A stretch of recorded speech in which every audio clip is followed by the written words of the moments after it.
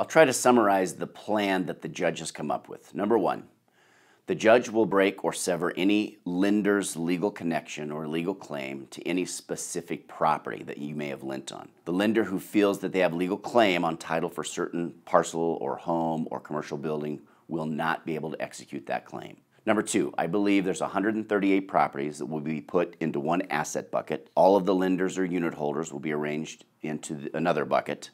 The dollars from the property sales will proportionately be split out to all of the lenders according to the plan.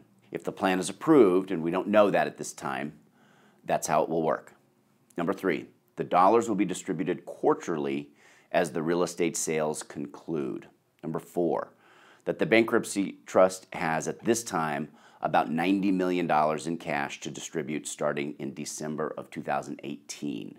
Number five, the trust has a class action lawsuit against the FDIC bank that Shapiro used for some of these fraudulent real estate transactions, and that could result in significant funds coming into the trust for all of us to share. Number six, the trust will pursue assets from Shapiro and from Shapiro's family that they feel were involved in any of the frauds. This is the broad outline of the plan, but it all depends on the results of the ballot or the vote of the creditors.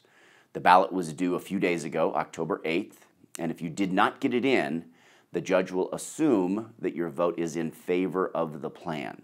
So a non vote is a yes vote.